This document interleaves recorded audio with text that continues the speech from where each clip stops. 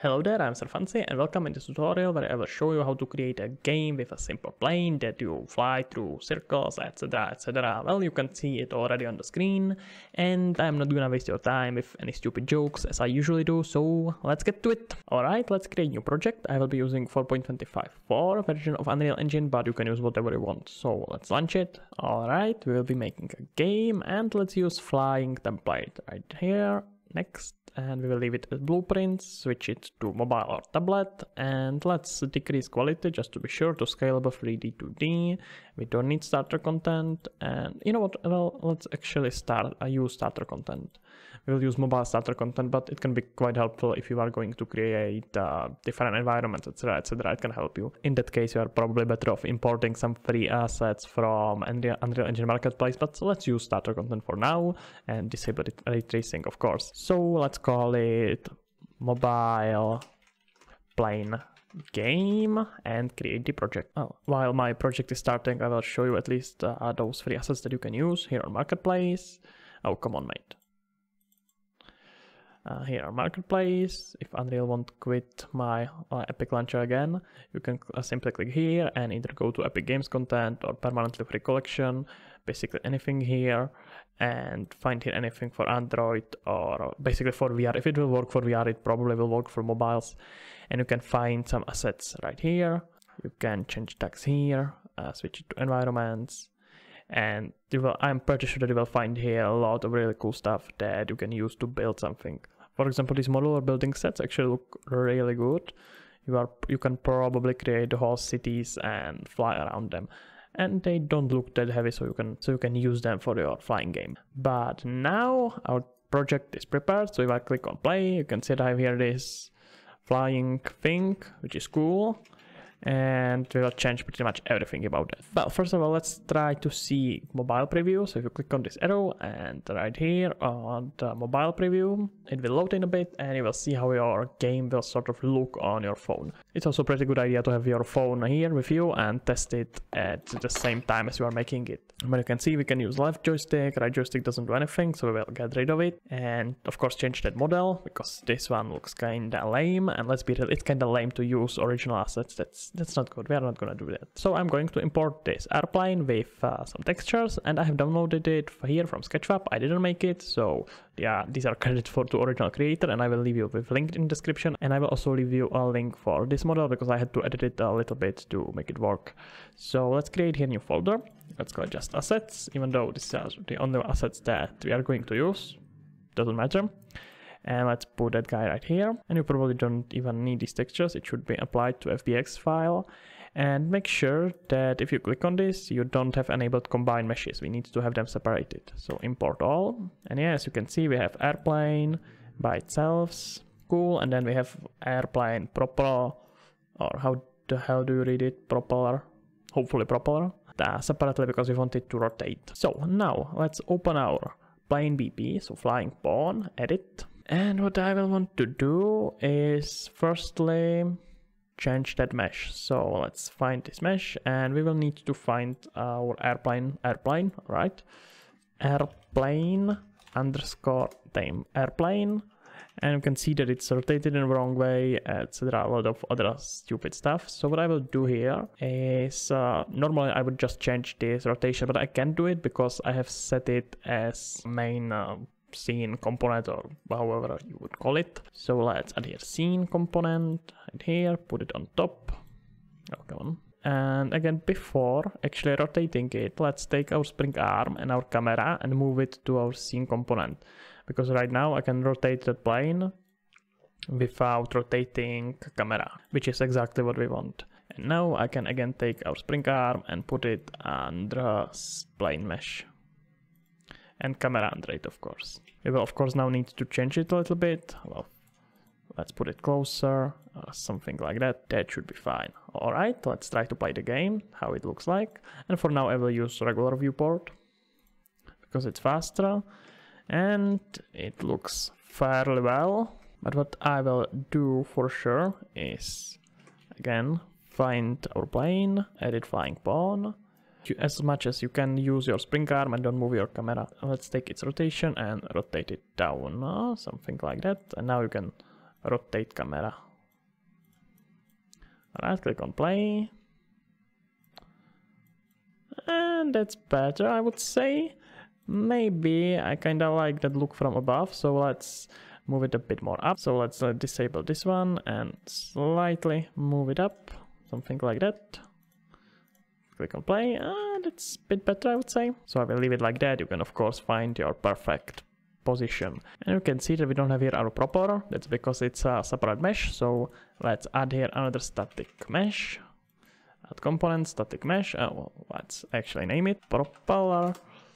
And put it under plane mesh. And let's set it to of course our propeller and let's try to move it somewhere where we will be able to see it. Right now you can see it's somewhere here for really weird reason that I don't really understand. Let's click on these arrows and we'll reset it to its default position. And make sure that it's under plane mesh and not under spring arm. All right again let's disable this lock. And now if we rotate it, you can see that it looks like it's rotating, but of course right now it won't be rotating just like that. So let's go into our event graph and firstly let's delete few stuff. We don't need this thing, it's completely useless. Uh, we probably don't even need this thing. And let's leave our these two. These are for setting rotation and this is this is for moving forward. And let's look here in our event tick put here sequence. So take this pin, sequence, and let's move it up here. And we will simply take our propeller and add its rotation. So add, uh, let's do add world rotation, uh, split structure pane again. Let's try Y on, let's, let's try two on Y axis and again connect it and it's rotating on along wrong axis. So because we are using world rotation now we need to use, I believe it's it will be X. Let's try that. And it's starting to look fine, look at that. Maybe I would speed it up, let's try 10. Hey, look at that. Now it's looking like we are actually doing something and it's pretty it's usually a good idea to comment everything especially if we have it here from unreal. So let's select all that click c and let's put here rotating propeller. So now let's try to make it a bit more interesting. If we scroll down if we click on spring arm and scroll here we can enable camera lag and that's exactly what we will do. Then also let's enable draw debug lag market so we can actually see what we are doing because right now if you click on play, look at that yellow thing under your plane, it will tell you basically how much behind is your camera behind your plane.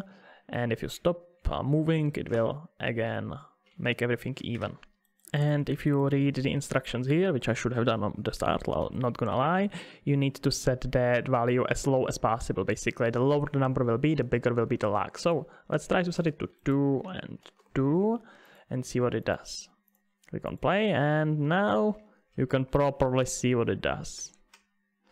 It's not a bad idea to have it like that actually, I kinda like it. Because what you can do now is let's increase it to about 4 by 4 uh, and if you want you can set here max distance, for example 10, so now it won't be that far. And you can see that's way too much, so let's try max distance 100.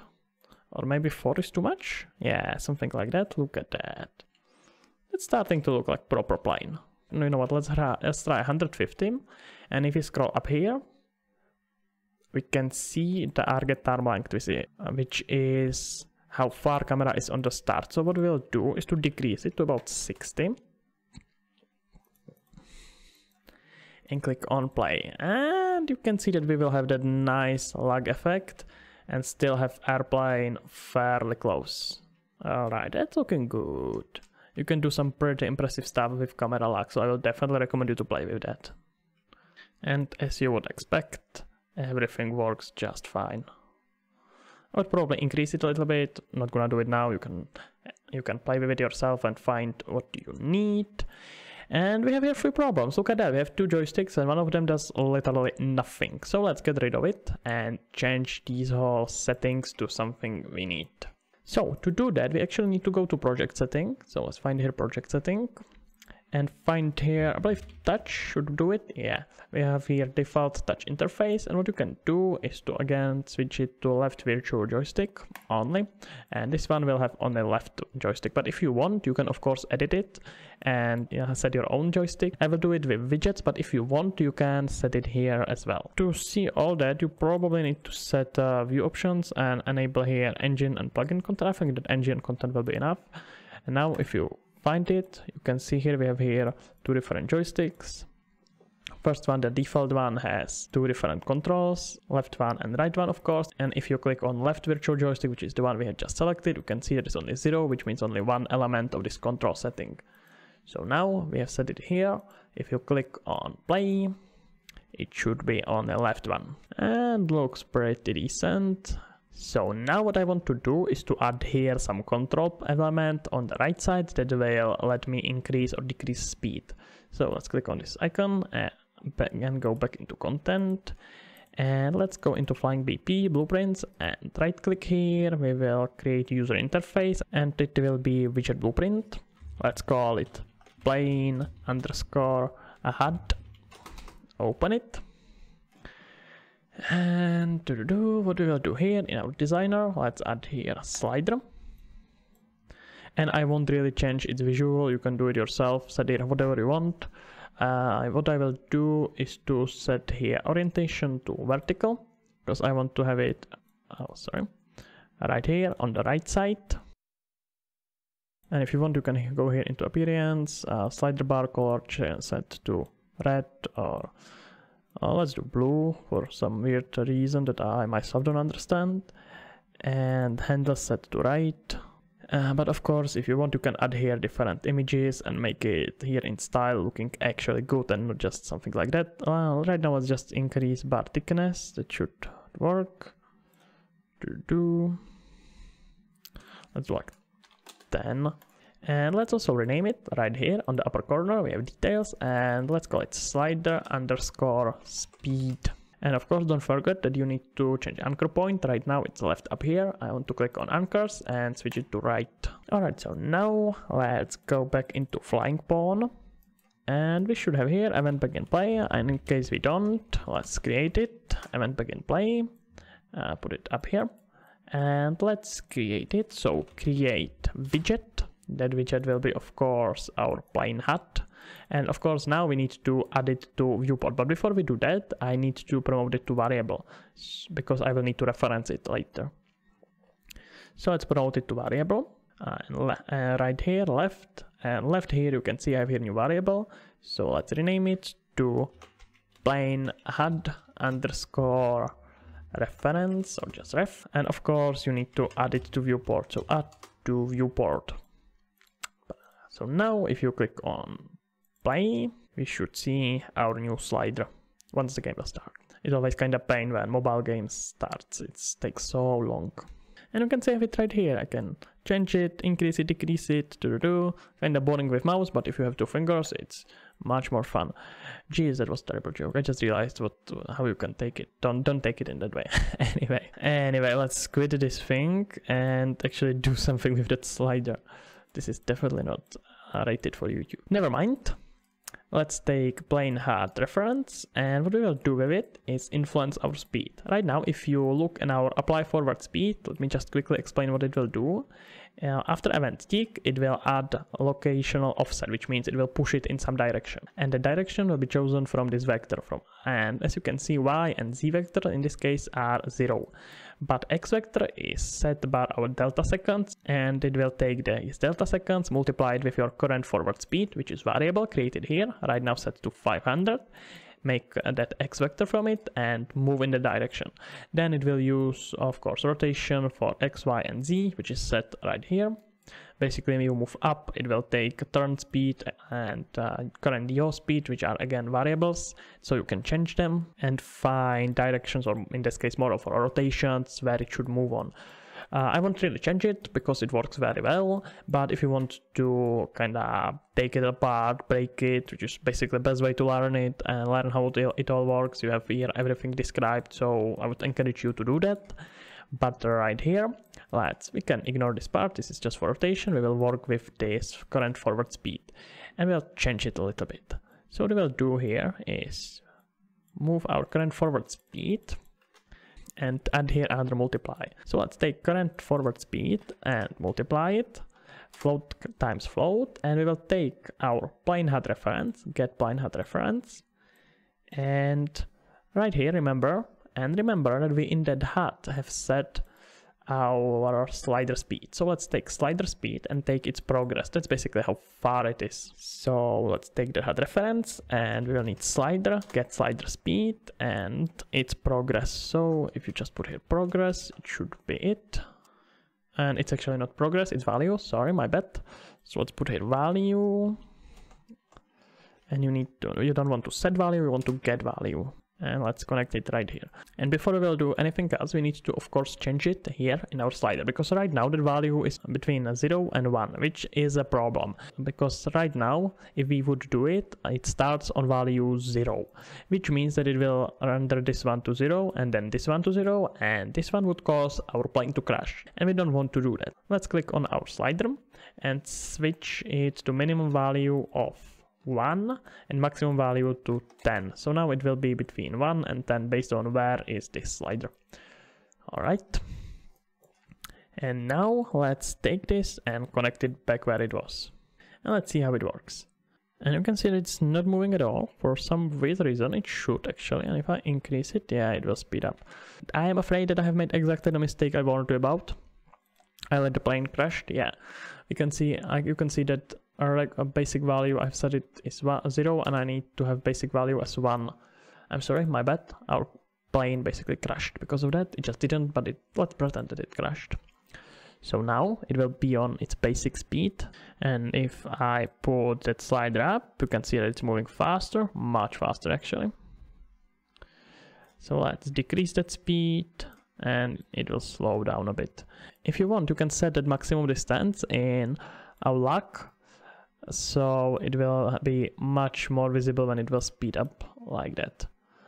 But that's pretty simple to do so I will leave that to you. Let's just speed it up and you can see it works just fine. Cool. So now let's also make sure that we have some fuel and our plane can actually crash. So we will need to go back to plane HUD and create here progress bar.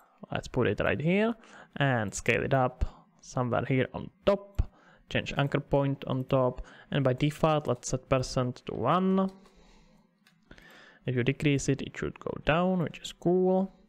Let's change the color to something green, because I like green. There is no real reason for that. Now back into our flying pawn, and we will use something very similar as we did here. Let's take our HUD reference and go on the end of this event tick, or you can create new sequence here, it doesn't really matter. And of course, I forgot again, we need to rename it. So this progress bar, let's call it fuel progress and we will do is to take uh, fuel progress get fuel progress and we will need to get a percent. And now of course we need to set percent. Because what we will do right now it's set to 1 so what we will do is to take our HUD reference again and take from it once more our value for speed so let's put here just speed, get slider speed, get its value, so get value, and remember it's between 1 and 10, and our percentage is only between 0 and 1. So what I will do is to divide it, so float divided by float, and set it to 100. And if you are not sure about those numbers, and I will actually do it now just to demonstrate it, let's put here firstly print, print string, and connect it right here, just to that value from our slider speed. So click on play and you can see it's on 1 and our fuel is on 1 as well. So I of course can't uh, subtract uh, that 1 only from that fuel, especially not on event tick. So what I will have to do is, as I said, divided by 100, which you already know, but you know, I, I like to demonstrate it visually like this. So now let's take that percent, set it to minus, and we'll take minus, float minus, oh, float minus finance, sorry, float minus float, and set that percentage right here and see what it does. Why I am doing it like this is also because the higher I will set this value, which means this slider, the more it will take our fuel. And maybe I will have to divide it by 1000, we will see. Because it should take about 60 per second, which means, yeah, it will probably go too fast. I will have to uh, divide it by 1000, I'm afraid. well, that was very fast. Really, really very fast. So, again, flying pawn. Let's try to divide it by 1000 and in that case I'm afraid I will have to go more like 10,000. Uh, yep, way too fast. Alright, let's times 10, you know what, let's, let's try 100,000, just put a bunch of zeros, it will do the trick. And now it's slowly taking that fuel. So now what you can do, of course, is to increase that speed and it will, if you would put it on top, it will take, uh, it will be 10 times faster. So maybe I would again add more, one more here, zero, just to see how it does. Yeah, it works pretty well. Another thing, let's add here some check. So what I will do here is to put here branch that will check if this percent, let's just take it, uh, you know what, let's take it from, no, no, no, no, we have to take it again, sorry, my bad. Uh, let's take it here, we need to take our plane HUD reference, and percent and make sure that it's smaller than zero uh, that's bigger than zero. If it's if it is bigger than zero then it won't do anything. But if it is not let's set here end game. So uh, let's just print it for now. Print end game and I will probably leave it just with that print so you can add here whatever end of the game you want and we have end game game ended. Cool. You will probably want to add there some screen or anything. I will just put here print again print string game ended short delay. Oh come on. Short delay 0.2 seconds and then let's get current level name. That's a super simple way to restart it. Get current level name and open level. Just connect it here and uh, let's of course comment it all so c and let's put here check fuel and reset level and right here this may be a bit confusing so let's also rename it and c and it is set fuel based on speed cool move that all up and you can collapse it of course to macro or to function, whatever you want. This should work with everything. Probably not a bad idea to collapse it to function actually. So now let's also add here something we can do. So some scoring system. And if we look into mobile starter content, there surely is something I can use as a ring. What is that? Torus. Yeah, that's exactly what I was looking for. So let's take the Torus and we'll turn it into blueprint. Uh, so content, flying BP blueprints, and let's create it here uh, blueprint class actor let's call it ring underscore bp open that guy and add here, add here that torus static mesh call it ring and as our static mesh let's say torus shape torus that's cool. Set scale of the torus to 15 times 15 no this is actually 17 times 17 i have lock lock so it should work. And uh, let's change material to something uh, gold. We have here gold of course and let's let it rotate so I'm in graph. We want to add local rotation on our ring of course and it should be z and let's try 5 or maybe 7 have, I have it already here so click on play and look at that it's rotating and your airplane can fly through that. It'll be much more fun if you will actually drive it. Yeah. Or fly it. Fly it. Probably fly it. Oh, our rotation. Oh, our camera is lagging. What can we do about that? If you click on your camera, you should have here... Or is it in spring arm? Yeah, probably there should be two collision tests. Let's try to disable that. Or you can uh, create smaller probe size, but it should be fine. Do, do. Yeah, that fixed it. So back to our ring BP and we need to put here some collision. So to do, let's do box collision, scale it up. So it covers the whole inside of that thing. And once someone will interact with that collision, oh, it's you can actually you can't actually see it. That's cool. Didn't expect that thing. Uh, let's put it under a ring just to be sure. So it rotates with the ring. And on collision, scroll down on component begin overlap. Cast to.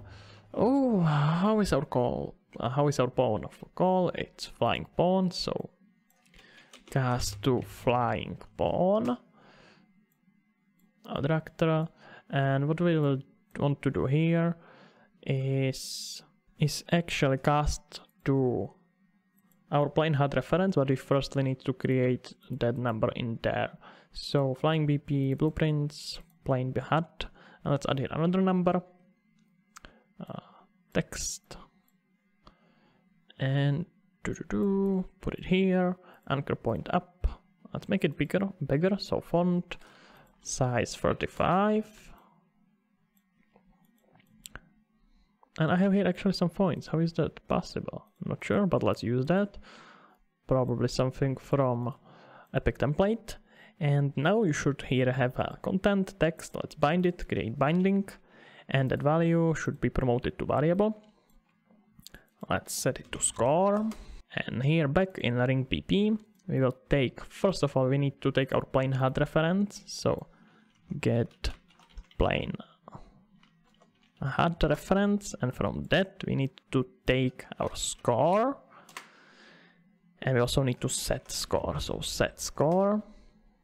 Oh no I can't. Sorry that was my mistake. Uh, compile plane and let's disconnect it convert it to float change variable type it's cool it will give you some error but you can ignore that and connect it right here.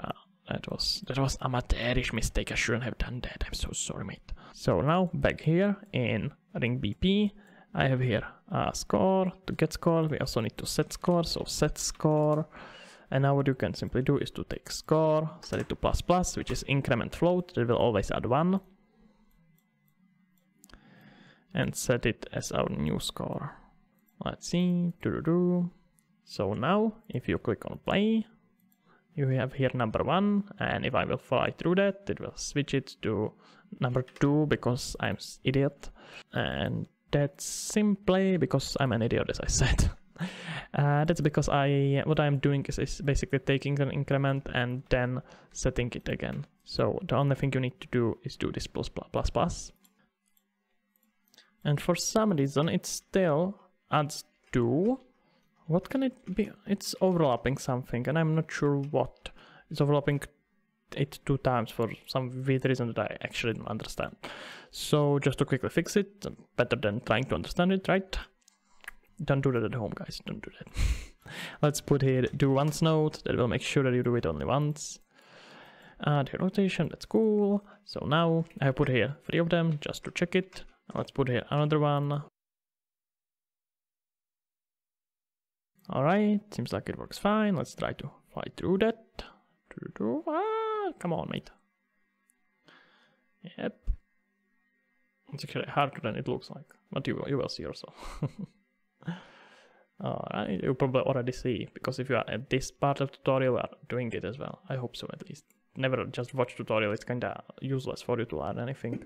It's always better to uh, do same stuff as you do, uh, as you see in the tutorial increase the speed, everything works. I would say that's about it. Alright, I would say that's pretty much about it for this tutorial. I will now deploy it and launch it on my phone to see uh, to check if everything is alright and then I would say that's it. That's pretty much it. Alright, that should be it. Somewhere here on the screen you can see how it looks on my phone and hey, that's it.